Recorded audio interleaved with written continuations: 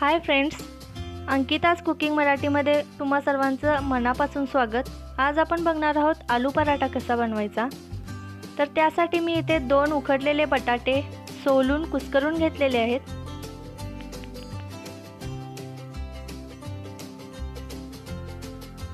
एक इंच आलं चिरून घेतले.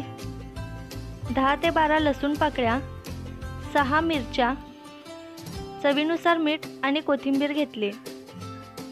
आता आपण आलं लसूण हिरवी मिरची आणि कोथिंबीर बारीक करून घ्यायचे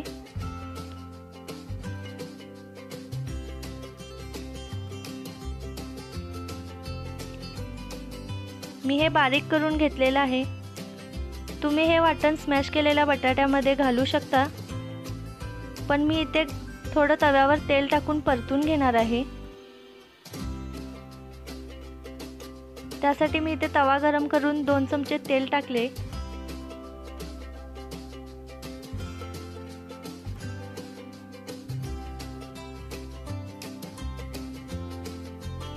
तेल गरम झालेलं आहे. आता मी यावर हे वाटण घालून थोडंसं परतून घेणार आहे.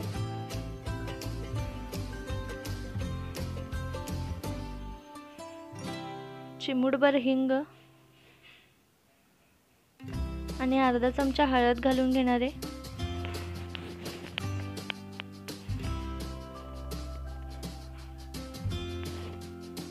हे परतून घेतल्यामुळं काय होतं की याची एक अशी वेगळी छान चव येते. हे वाटण आता या बटाट्यामध्ये मिक्स करून घ्यायचं आहे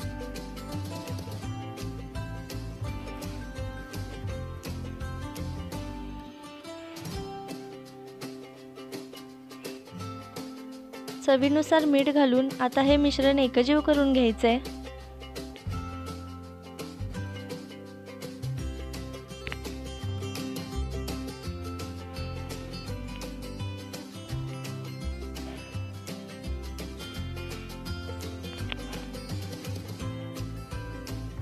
हे छान असं एकजीव झालेलं आहे. आता मी याचे मध्यम आकाराचे गोळे तयार करून घेते.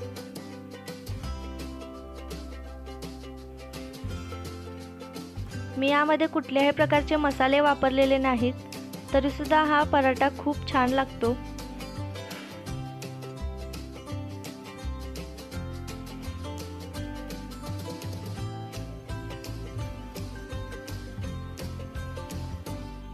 आता आपण पराठा लाटून घ्यायचा आहे त्यासाठी मी इथे कणकेचा गोळा घेतलेला आहे.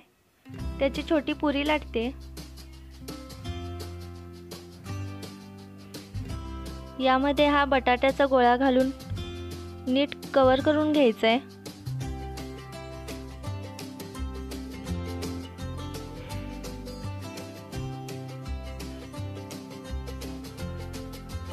पिठामध्ये घोळवून लाटून घ्यायचं आहे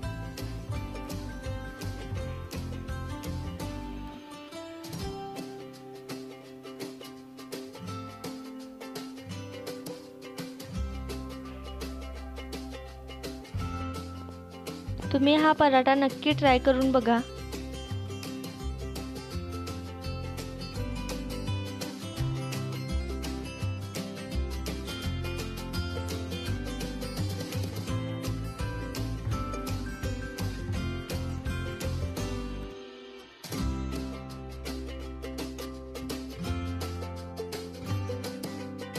तवा गरम करत ठेवलेला होता.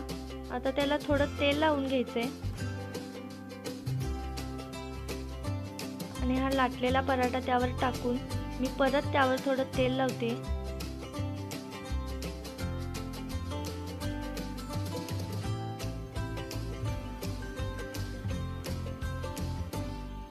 एका बाजूने हा पराठा खूप छान भाजला गेलाय.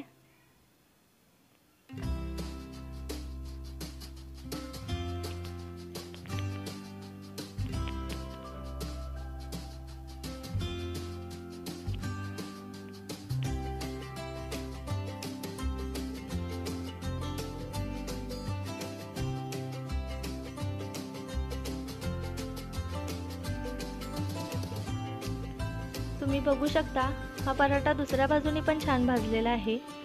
तर तयार आहे आपला हा आलू पराठा.